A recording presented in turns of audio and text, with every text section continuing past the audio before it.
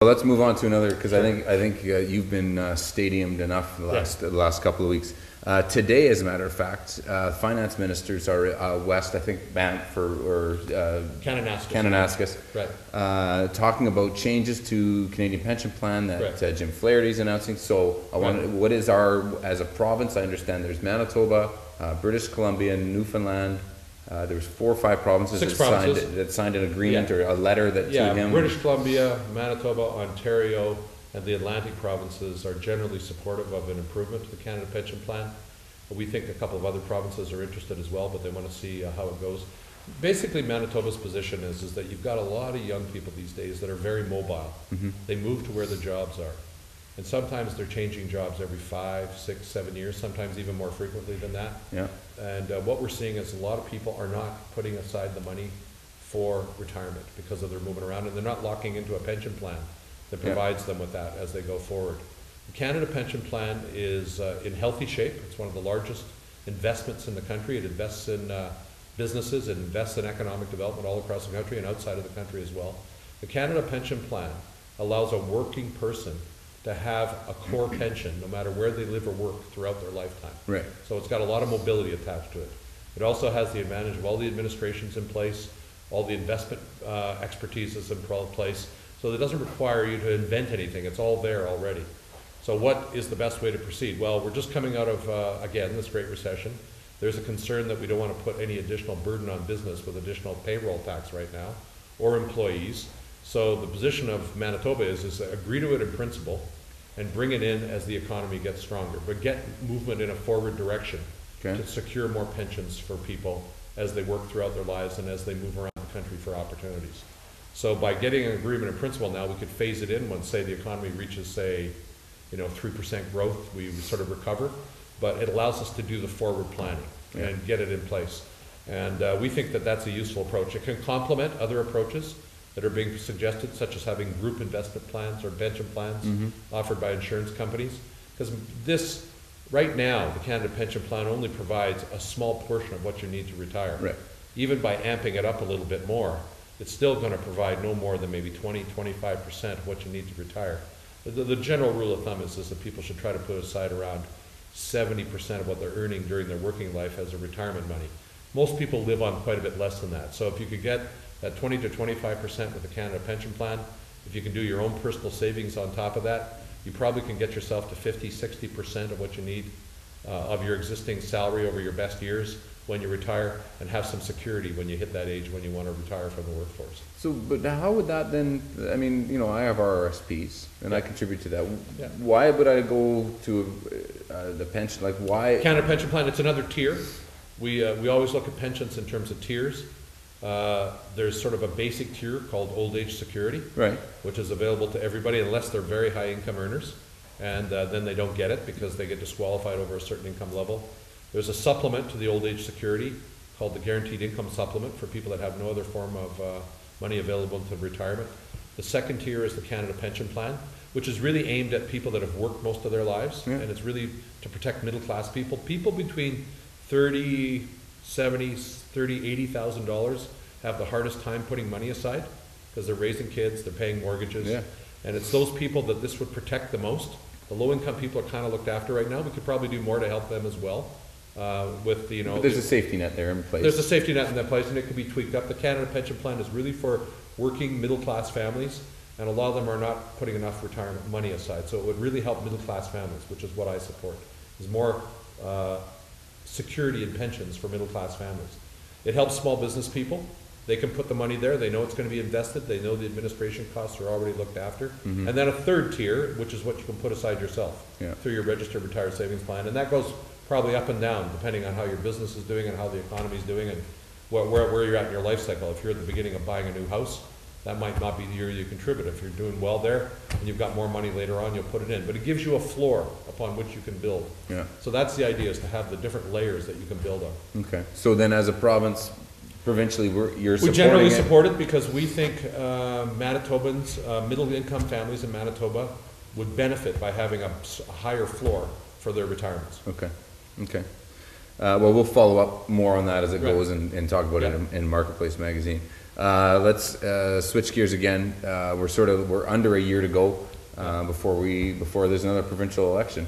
Um, and which will be your first as sort of running as, Premier. as premier. Um, uh, what, what, uh, what is sort of the, mid- I mean, other than ongoing business for the rest of the year? Obviously, you've got, you want to make a statement to Manitobans to say, you know what, I belong in this position and I'm here to lead you for another four years or more. What are sort of the major things, uh, Well, I gave a throw to the, uh, a State of the Province address last week. yes, and we got, we have And uh, that. what's really important is, is that we have a good forward plan for the province. A good forward plan based on a stronger economy, a more innovative economy, an economy that uh, uh, ensures that we do uh, research and development for new products and services. Some of the stuff you and I were talking about, some of the new software that can be out there, new media, Mhm. all of these things are opportunities to grow. Tourism is another huge opportunity in Manitoba. Uh, there's a lot of people that want to come here to see our ecological or our green assets, our forests, our lakes, which is why we're working on the UNESCO World Heritage Site on the east side. A lot of people come here for our cultural assets. We have some of the strongest performing cultural groups in the country. Yeah, Uh, Richard Florida, that uh, guru of cities, has said Manitoba with about four percent of the population and Winnipeg with about three percent of the population has seventeen percent of the performing artists. You think of the Jazz Festival, the Fringe Yeah. Festival, the Folk Festival, the Festival de Voyageur. We have a lot of great assets here, so we want to build our tourism sector. Uh, we want to be able to take our clusters that are doing well, aerospace, buses, biotech. All of those areas have huge potential for further growth and job creation, Yeah. but they need educated people to do that. And that's another big part of what we're about, is strengthening our education system. You may have noticed that we're now going to require people to stay in school until they're eighteen. yeah, which I think is a, I, I think is a good thing, obviously. It is, because uh, if you got to spend money on young people, it's better to spend it on educating them Yeah, than dealing with other issues out there in the community. It's a good crime prevention as well. Uh, We're uh, continuing to strengthen our education at the post-secondary level, colleges and universities. And then right at the front end, we're investing heavily in young children and families to get off to a healthy start. Right from the time when the young child is born, they can have access to a home visitor or a nurse. And then we want them to have good stimulation as a family, access to books and reading, and even access to schools, so sort of preschool programs mhm, and uh, opportunities in daycare to have learning in daycare, not just child minding. right, So we're trying to make sure that all our investments in families have good, strong components when they start out, to make sure that education's strong so that a young person can move. Right up when you hit around that grade nine or ten area, area is when kids start deciding whether they want to continue or not. yeah, If we can help them finish high school through a variety of alternative programs, if they're not fitting into the traditional one, whether it's a trade, yeah, yeah, or a special skill. I've been out to a couple of schools lately, for example, uh, Tec Voc, where the young people are coming out of there as professional photographers now. Used to have to go to community college to do that, or Yeah. go into a special training. I was out at uh, High School, which is our largest high school in Manitoba, eighteen hundred young people. They have a whole new media program there now, where people can come out with special skills in designing uh, new apps, yeah, uh, new media products, using all the tools. It's a, like they can take 12 courses related to new media before they finish high school. And some of the young people there already got jobs fixing computers, doing Yeah. some of that stuff that earns them 20 bucks an hour when you're in high school, which is pretty good if Yeah. you think about it. yeah, So we want school to be something that's more relevant to people, allows them to finish their programs, allows them to get skills that allow them, that will encourage them to enter the labor market, and quite frankly, allows them to have the skills where they can start up and generate their own businesses, because in the future, small business is going to be, remain incredibly important to diversify our economy. We already are a very diverse economy with lots of good things going on, but the more we can encourage the small and medium-sized businesses uh, to grow, and that links to another piece of our future agenda, the trade agenda. yeah, I've been over to China, Hong Kong, the Philippines, Israel. We see a lot of partnership opportunities there. And Manitoba is strength is small and medium-sized business. We've got some excellent large ones. But if we can get the small and medium-sized business sector into the export market, there's a chance for them to scale up what they do and to make more opportunities here in Manitoba. yeah, For example, uh, when I was in China, Parker Hannifin, which is an electronics company in Winnipeg, supplies all the high-end electronics to this large-scale heavy equipment manufacturer. And what their product does is allow them to conserve fuel. You know, when the big uh, Yeah. front-end loader's idling, it shuts down the use of the uh, fuel. It might even shut it off. They save enough fuel in two years using the electronics that are made here to pay for the cost of the machine that they're buying. That's a huge plus for the environment. it's a huge plus for any business person buying that piece of equipment. And right? developed out of here. It's all developed out of here. And by having that relationship with that company in China, they've been able to grow their employees to around 200 people here. They were quite a bit smaller than that before. So, Yeah. so these are the kinds of things we want, is partnerships that allow us to grow our economy and help our economy hooked into the whole world. Because we do know that the American economy is still pretty fragile. Uh, there's a lot of tipsiness there. And I think we'll be for the. A while. uh, uh, uh, the, the foreseeable, Yeah. you know, And right now, you know, uh, most Canadian provinces have, you know, at least three quarters to eighty percent of what they do linked to the American marketplace. Yeah. So we have to develop a trade strategy which diversifies our markets into Asia, into Europe, into South America. All of those are opportunities for us through the BRIC countries, Brazil, Russia, India, China. These are opportunities for us to grow our business and to diversify our ability to uh, provide good quality goods and services to the rest of the world and to encourage investment to come here yeah, which is why we support CentrePort. CentrePort's gonna allow, uh, the five major trucking companies we have, yeah. the three major railways we have, the new airport we're developing, all to synchronize opportunities for people to have business out of Winnipeg that can hook to the rest of the world, east, west, north, and south, all the way down to South America, through the Midwest United States, up over to Russia, over the top, and down into Asia.